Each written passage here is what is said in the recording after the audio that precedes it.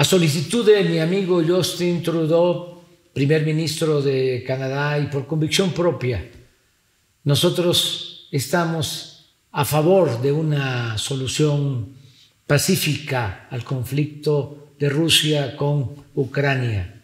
Desde luego, no aceptamos la invasión de Rusia a Ucrania porque nosotros hemos padecido de invasiones. Nos invadieron los españoles, nos invadieron los franceses, dos veces los estadounidenses y en una ocasión nos arrebataron eh, más de la mitad de nuestro territorio. Nosotros condenamos las invasiones y no estamos a favor de ninguna guerra.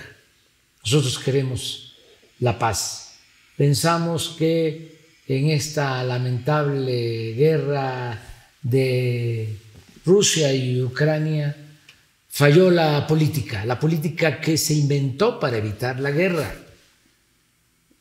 Se pudo haber evitado eh, esta guerra, pero todavía es tiempo de convocar a la paz para lograr acuerdos de paz.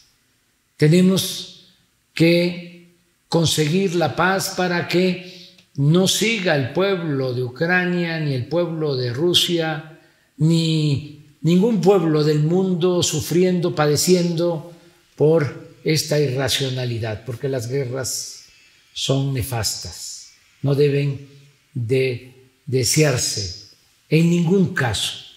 Por eso nos sumamos a los esfuerzos de paz y también para la ayuda humanitaria, porque tenemos que apoyar a las víctimas de esta absurda guerra.